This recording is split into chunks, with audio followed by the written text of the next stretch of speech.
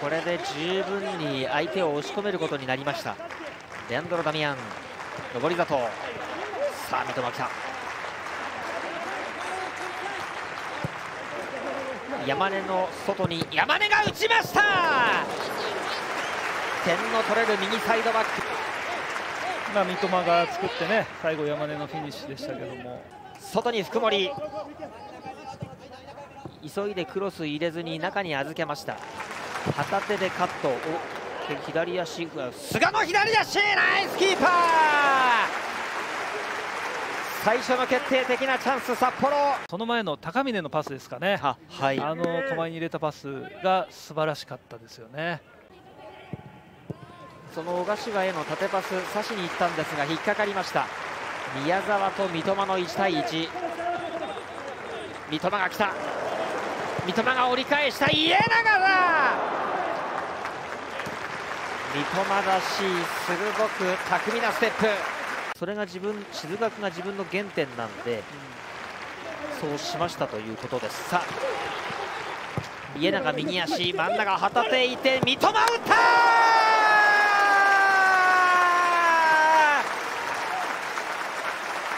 川崎後半の立ち上がり先手を取りました、まあ、旗手も中盤からよく入ってきましたしね、最後は三笘落ち着いて決めましたね。はい。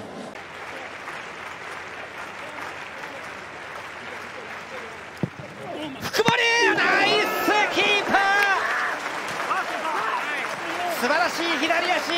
ショットストップ。これ。いや福森も やっぱ精度素晴らしいですし。孫亮もよく反応しました。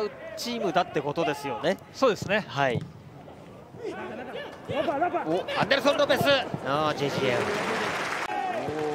ダミアン強さを見せます。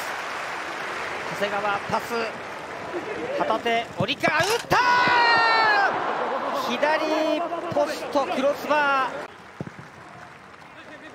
ー。J ヘディング。抜けた。小林小林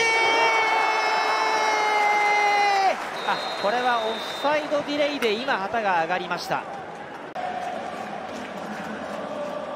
この田中ですね。そうですね。はい。このタイミングで、まあ、足残ってましたがねえただ、まあここの1対1の制し方ですよね。プレッシャーかかってたとは思うんですけどもよく決めましたね、落ち着いて。